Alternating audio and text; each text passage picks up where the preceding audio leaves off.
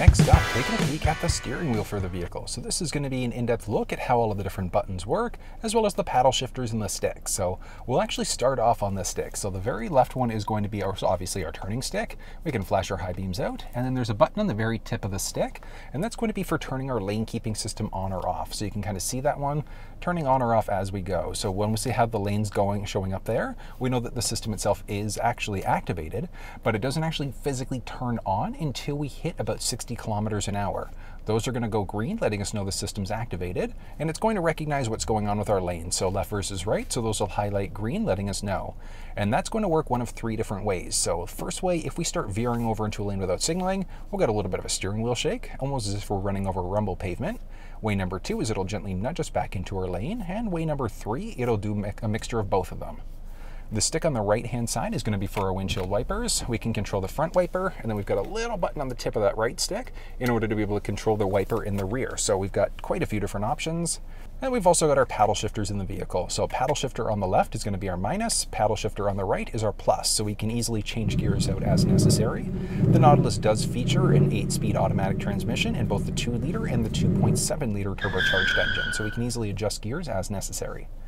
Taking a peek at the pad on the left-hand side, we can use that in order to change between songs or radio stations so you can see those active sources changing out. We can press and hold if we wanted to seek that way to change between stations. So you can just kind of see it going crazy off to the side there, and that's because we're pressing and holding in order to be able to change out stations. So we could technically, if we want to, use the tuning rocker down this way to change stations out. We can also just press the voice command prompt on the top of the steering wheel in order to be able to change out using our voice instead. On the left-hand side, you can see there, we do also have our audio switch, so we can increase, decrease audio as necessary.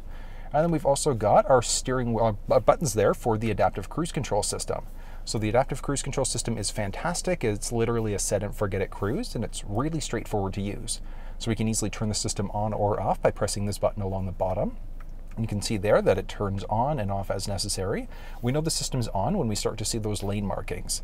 And we can control those markings by pressing the button there. And that's going to be our distance indicator. So how close or how far are we away from the vehicle that's in front of us?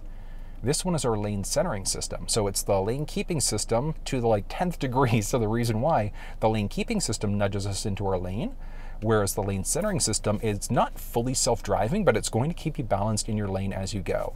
We can increase or decrease one kilometer or one mile per hour at a time. Looking on the right hand side, same idea, series of different buttons and things like that. This one is going to be our basic back button for that center screen. We can go up and down to flip between different pages. So we can see that along the right hand side.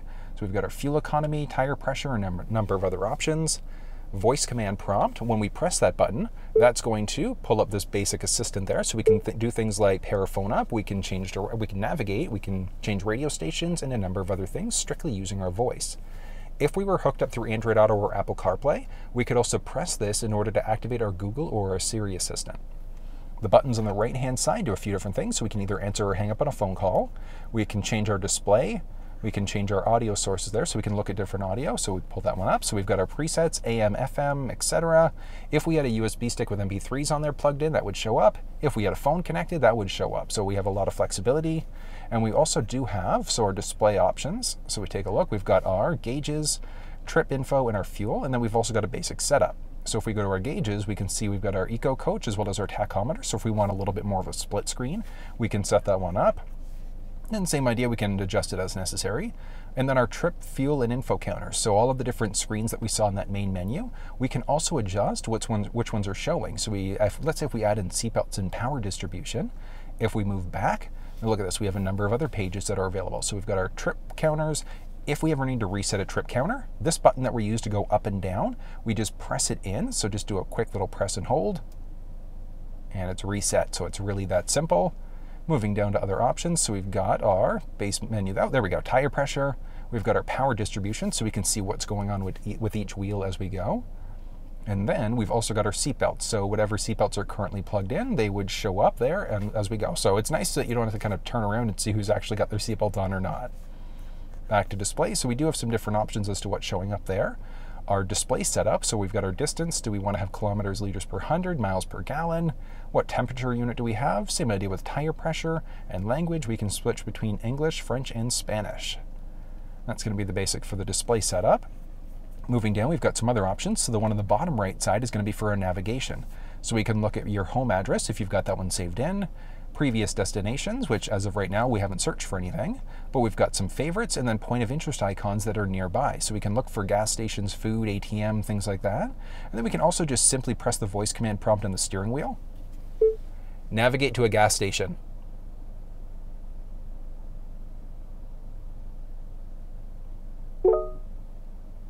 Which item would you like? Okay, so it gives us a number of other options. So we can literally say which one we'd like, or we can just press. Starting route to Pioneer. And as you can see there, so really straightforward. Or we can also navigate this way if we wanted to. So Traffic laws. Be alert and use those commands while driving. so we know that we're going to this 200 Pioneer. Meters at the end of the road, turn right to Kingston Road. And it's really neat because we can see exactly what's going on with the directions right through this middle screen. We press that navigation button again and we can cancel the route out if we wanted to. So the route is now canceled. So literally is that simple. And then we also have this button along the bottom left hand side and same idea, a series of different options. Firstly, we've got our drive controls, so we, we can show what's going on with our handling when we're in our regular drive mode. Do we want it to be comfort, normal, or a sport steering? Ooh, this is a great song. I'm just going to crank the volume here for a second.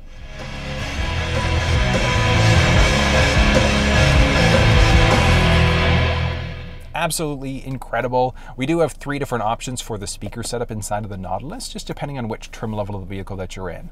But back to the drive control. So we've got our handling in sport as well as our performance in sport. So what kind of performance do we want to have in the vehicle? Honestly, if you're going to be using the sport control down on the side there, just leave it in the sport setup. It is an incredible setup when you do it that way. Moving back, we've got our driver assistance settings. So our blind spot system lets us know if anybody's under the blind spot on either side of the vehicle cross traffic alert. If we go to back up and a vehicle's coming perpendicular, it'll beep at us and let us know. Cruise control, we've got our normal versus adaptive cruise. And adaptive, we saw there, is our set it and forget it cruise, or you can flip it up to the old school style cruise if you wanted to. We've got driver alert, so if we start to veer over into a lane without signaling too many times, eventually we're going to get a counter and something letting us know we should probably take a break. We've got our lane keeping system, which we already heard works three different ways, so alert, aid, or both, and then the intensity of the steering wheel shake, so a high, normal, or a low shake. We've got our pre-collision assist. So if the vehicle senses that there's a potential collision, are we going to get an indication letting us know uh, the distance of that one? Will the vehicle emergency brake for us or evasive steering, which puts our steering wheel into hypersensitivity mode? You've got a few different options available and you do have the flexibility of turning these systems off if you really didn't like them. I know some people aren't a fan. Trailer sway control is great. So if the vehicle senses there's trailer sway going on, automatically apply engine braking to get that sway under control. And then we can also show the speed in miles and kilometers per hour. So we can show them both if we're going down to the States or if you're back up in Canada, either way. Vehicle lights, a series of different options. So we've got our auto high beams. So if the vehicle senses an oncoming vehicle, it'll dim your high beams and then bring them right back up again. Our auto lamp delay, when we go to lock the vehicle using the key fob, do the lamps stay on for 10 seconds, 20 seconds, or 120 seconds? And then we've got our welcome lighting on the outside of the vehicle as we approach. Oil life, few different options there also, so we can do a reset if we're changing the oil ourselves. Wipers, we've got our courtesy wipe, so if we've got our windshield wipers going, courtesy wipe's going to take an extra second and then go one more time to get rid of any excess liquid. Rain sensing wipers available as a default, and then our rear wiper when we're in reverse. So if we've got our front wipers going and we put the vehicle into reverse, it's automatically going to turn on our rear windows, our rear wipers for us on top of that. We've got our alarms, so when we go to lock the vehicle, are all sensors active or just the outside alarms? And then you can also have the vehicle ask you when you exit. All active sens- all sensors active is a great one because if your windows are rolled down and your vehicle's locked, if somebody reaches in, the alarm's going to go off. We've got our 30 minute max idle. So if you're just hovering and idling, you're at a drive in movie theater, whatever the case may be, you can limit it so the vehicle turns off 30 minutes max, or you can have it so that it just stays on. We've got our easy entry exit. So when we go to unlock the vehicle to get into the door, so for the driver passenger seat, it's literally going to lower the seat down and bring it back in order to get in and out of the vehicle a little bit easier. Some options for our locks. We've got our auto unlock when we go to stop the vehicle. We've got some different feedback options there as well. So we've got our audible and exterior light. So as we go to lock the vehicle, etc. Mislock chirps. So if we don't properly shut doors, we're going to get a double chirp letting us know that we haven't shut everything properly. When we go to unlock the vehicle, do all doors become unlocked or is it just the driver's door?